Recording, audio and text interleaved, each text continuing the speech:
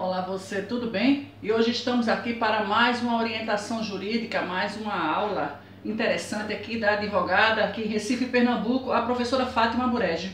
E hoje nós vamos falar de uma recente decisão do STJ, do Superior Tribunal de Justiça. E ele trata de um assunto que eu considero altamente relevante.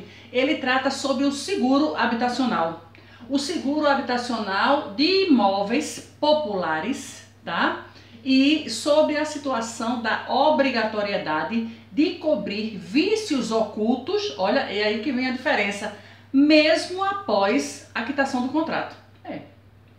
A terceira turma do STJ, a terceira turma do Superior Tribunal de Justiça, ela diz que a quitação do contrato de mútuo para aquisição do imóvel não extingue a obrigação da seguradora de indenizar os compradores por vícios de construção ocultos que impliquem ameaça desabamentos.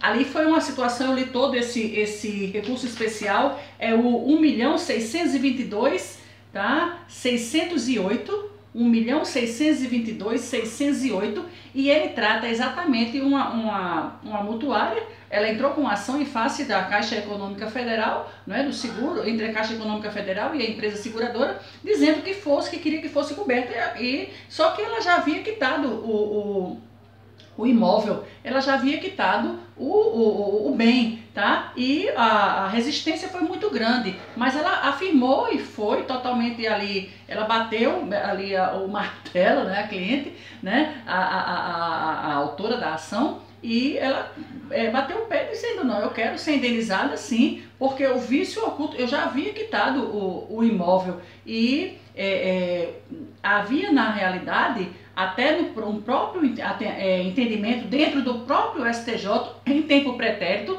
ou seja, em tempo passado, havia uma, uma, uma situação que o próprio, é, é, é como é que chama assim, o próprio STJ tinha entendido de, é, diferentemente. Ele fala aqui, no ele fala assim, no entanto, dada a relevância da matéria comumente trazida ao Poder Judiciário que revela a gravidade da situação vivenciada por milhares de seguradores segurados que adquirem um imóvel pelo sistema financeiro de habitação, muitas vezes pagando o financiamento com bastante dificuldade e veem seus bens se deteriorar em decorrência de vícios de construção, alguns inclusive a ponto de se tornarem inabitáveis fez-se necessária uma nova reflexão por esta turma. Olha, ele diz assim, em tempo pretérito, ou seja, em tempo passado, nós, na própria turma, nós já havíamos de, de, de, de fato decidido de forma diferente, mas em função da insistência e da, da eles são é, é, contumazes em continuarem fazendo habitações para a população que não, não atende de fato à necessidade do povo, faz habitações com vícios ocultos, são vícios, assim, é, o vício que aparente que é um vício oculto, vamos esclarecer aqui. Um vício oculto é aquele que não está aparente, está oculto, você não está vendo, tem um momento que ele vai se manifestar. Quando ele se manifestou, a, a, no caso dessa, dessa pessoa que, que entrou com a ação, se manifestou, tornou não é, praticamente inabitável. Tá? E ela entrou com uma ação requerendo sim o, é, que fosse que o seguro pagasse. E em sede de primeiro grau e em sede de tribunal, eles fizeram menção justamente aos os recursos especiais anteriores, inclusive esse 1.558.679, que foi julgado em 6 é, de é, 26 de 6 de 2018, ele é, é, fez menção. Aí, no entanto, a própria, ela, ele fala, o próprio tribunal, tá? O próprio, é, é, é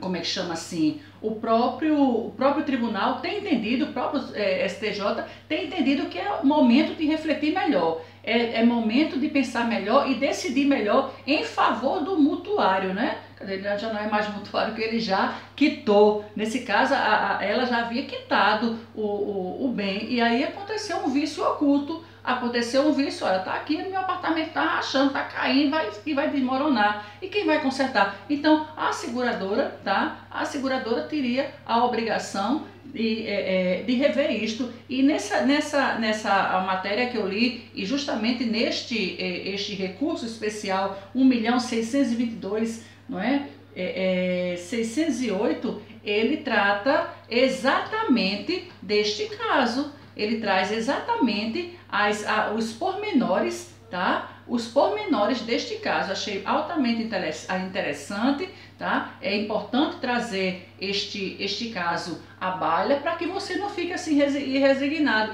assim resignado. Ah, tá bom, eu comprei um apartamento, agora do nada ele tá coisando, mas já até quitei, já tá velho, já tá coisado. Não, ele tem essa, essa esse, como é que chama assim, esse dever, né? De acordo com o, o, o, o STJ, ele tem, a empresa seguradora tem esse dever sim de indenizar, porque ele diz aqui, a quitação do contrato de mútuo para aquisição do imóvel não, olha, não, não, não, não extingue a obrigação da seguradora de indenizar os compradores por vícios, olha, de construção oculto, ocultos, os vícios estão lá que impliquem ameaça de desabamento. Tá? A pessoa deve ter acostado um monte de fotos, comprovando ali as suas alegações, perdeu, ela foi muito resistente. Olha, parabéns ao advogado, né? Que os advogados, eu vi que foram vários advogados que trabalharam nesta, nesta tese, trabalharam nesta causa,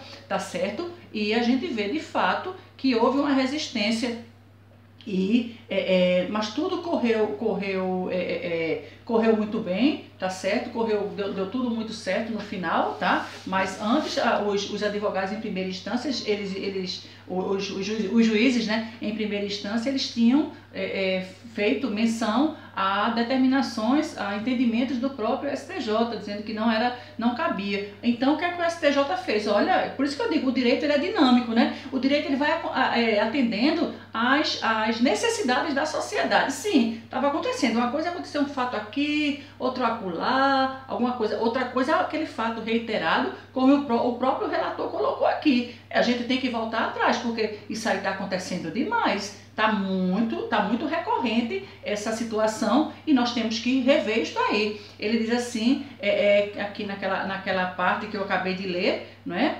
que é, é, existe uma situação que eles tiveram que rever a, o seu entendimento. Eles tiveram que rever o entendimento, por quê? Porque já estava, a situação estava insustentável, tá? Está acontecendo de forma reiterada. Então, em, trocando em miúdos, em poucas palavras, o que é que, que se pode dizer, tá? A quitação, tá? O, o seguro habitacional sobre vícios ocultos, olha, seguro habitacional sobre vícios ocultos, ele deve ter o dever de cobrir mesmo após a quitação do contrato. Segundo, tá? Entendimento né, da terceira turma do STJ, Superior Tribunal de Justiça. Compartilhe este vídeo, fale para outras pessoas, mostre aí, né, o direito aí dinâmico, o direito acontecendo, tá? De repente você não tem, você tem aquela colega aquele rapaz, que, que problemão que eu tenho, tal. Está aí agora a gente tem uma, uma decisão, né, de acordo com o Superior Tribunal de Justiça, como eu digo para vocês, sempre o Superior Tribunal de Justiça está aqui e ele está determinando ordens, né, delegando ordens e entendimentos para os tribunais menores, o tribunal do, do o tribunal regional, o tribunal, tá? ele está determinando isto aí para os tribunais é, é, é que eles possam trabalhar. Ele está ali, tem uma função superior, por isso que é, é o, superior, o, Superior Tribunal de Justiça, e a gente chama do, do Tribunal Cidadão. Né? Que coisa boa essa decisão. Eu mesma fiquei muito feliz. Não conheço ninguém que esteja passando neste momento por situação similar, mas você que deve conhecer, você pode conhecer alguém, você já orienta, já compartilha este vídeo, já orienta orienta as pessoas e diz, olha, fala para o teu advogado, dá uma lida neste recurso especial que a doutora Fátima fala, é o recurso especial 1.622.608 do STJ. Tudo de bom para você, fique conosco, dê um like, compartilhe este vídeo, compartilhe nas suas redes e tudo de bom para você. A gente se vê em outras orientações. Tchau!